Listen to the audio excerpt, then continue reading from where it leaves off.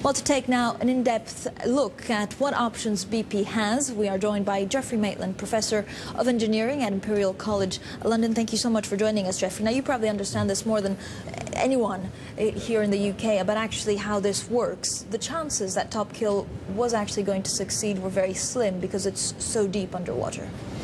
Yes, the problem with Top Kill was uh, a the depth that uh, so we, everything has to be done with these remotely operated vehicles, all the connections, the pumping from surface long distances. Basically, the, the problem in the end was that I, I think uh, largely to do with the fact that blowout preventers weren't fully shut, and so not enough oil, uh, mud could be pumped into the well to actually get a high enough pressure in there with the height of the mud column to stem the flow and there were obviously restrictions there that were preventing that, but most of the mud was coming out of the top of the well in the end. Uh, it does seem that the president saying this is the biggest ecological catastrophe that the U.S.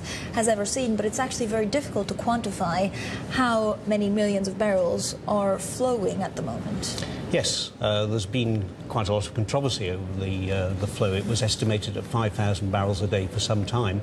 Uh, the US uh, government put in train uh, a panel of experts to look at three different ways of estimating the flow.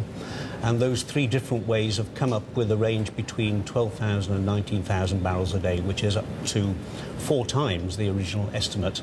Uh, and some estimates have been even higher than that, but I think we can say it's probably of, of order four or five times that original estimate, about 20,000 barrels a day.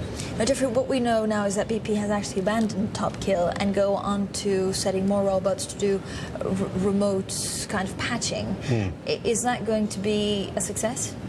Well, uh, it's, one can be optimistic, uh, but we've been optimistic at every stage.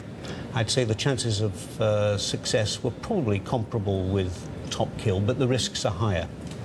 This um, time round? This time round, because what they're going to do is to uh, cut off the existing riser, uh, which has been uh, kinked on the seabed for the past month. And the fact that that has toppled over and kinked is probably restricting the flow that's coming out of the well. But in order to actually get anything on top of the blowout preventer, they've actually got to cut that off very close to the blowout preventer, below the kink.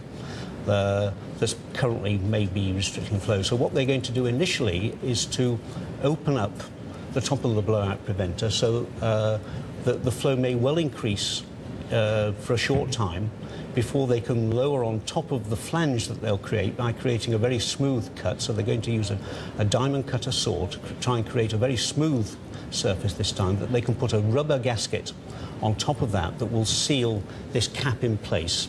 It won't maintain much pressure, but it will keep seawater out to prevent the formation of these hydrates that caused the problem with the previous attempts to actually collect the oil and uh, take the oil up to the drill ship Enterprise that uh, can store uh, the oil and then take it on shore. If you literally have 10 seconds, they don't have a choice but to do this. There's not an, an alternative option. There's not an alternative option. They can put another blowout preventer on top, and I think that's what they like to do if this uh, containment works in the first place. Geoffrey, thank you so much for joining us today. Well.